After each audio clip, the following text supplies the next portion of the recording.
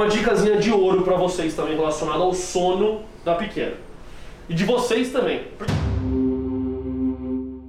De vocês também. Porque assim, isso é uma coisa que me pegou muito há um tempinho atrás, enquanto as minhas cachorrinhas dormiam no quarto comigo e hoje não dormem mais. Que foi uma mudança assim muito, muito gritante, tanto pra mim quanto pra elas, pra qualidade de vida minha e, no, minha e delas. Que assim, elas costumavam dormir de boa no caminho delas no meu quarto. Porém, toda vez que elas dormiam lá, parecia que eu tinha tipo, passado por uma guerra. Tava cansado, exausto. Eu dormia e no dia seguinte eu acordava cansado. E não é aquela história de, puta, uma vez por mês acordou cansado, que é normal no nosso dia a dia, às vezes pega uma, uma doencinha que não, não, não, apare... não vira uma gripe real, mas o nosso corpo combateu e cansou durante a noite tal. Mas era semanal, dia sim, dia não, parecia que tinha acontecido alguma coisa. Eu falei, mano, que estranho. Resolvi tirar as duas do quarto. Cara, minha qualidade de sono cresceu muito, foi lá pra cima. É, eu acordava muito melhor, tinha que dormir menos horas, porque isso também é um, um ponto que é determinante. né? As pessoas que costumam dormir mais ali do que o normal, média, nacional, é, alguma coisa tem. Às vezes o sono não está tão em dia. E aí. É. Final de semana eu durmo muito, porque durante a semana eu não Exatamente, exatamente. Ou porque durante a semana também o seu sono não é tão de qualidade quanto, tá? Ele tá estressado com o trabalho, tá barulho na rua, dia a dia normal, vivemos em São Paulo, não tem como correr, tá? Mas uma coisa que é mega legal então, é sempre pensar assim, os cães, por que isso acontece? Os cães, eles têm ciclos de sono diferente do nosso. Nós, primatas, a gente costuma dormir praticamente a noite inteira. A maioria da, da sociedade, ela é diurna. Tem os notúfagos, notu, sei lá o que, né? tem, um nome, tem um nome bonito para quem gosta de dormir, viver mais de noite do que de dia. Não é noturno, tá?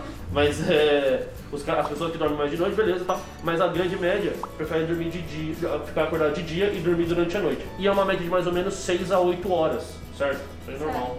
Tá. 6 a 8 horas. Os cães não. Os cães eles dormem durante todos os, todo o dia 3 horas de sono no máximo. Vocês já devem ter reparado isso. Nossa, ela dorme bem mais que isso. Não continuamente.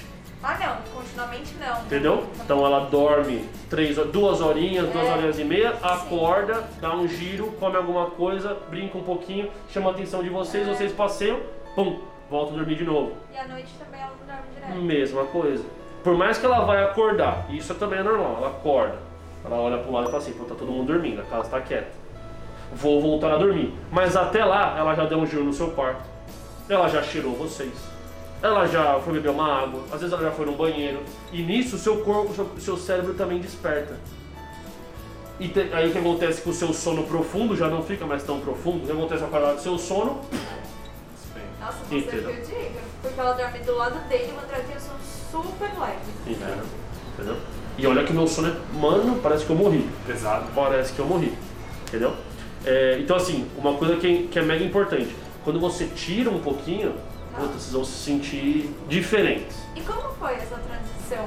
Cara, eu sou meio brusco, Tá. né? Eu, como lá em casa as coisas estão bem alinhadinhas, se eu falo assim, hoje eu quero dormir com elas, dorme comigo.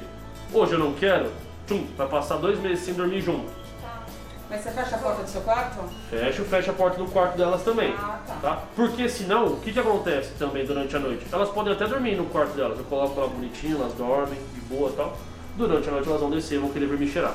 Dificilmente elas vão querer voltar pro quarto. Tá? Então isso é, isso é importante. Tá? Dá pra treinar? Dá. Mas cara, é desnecessário. É só uma questão de fechar a porta. É igual filho.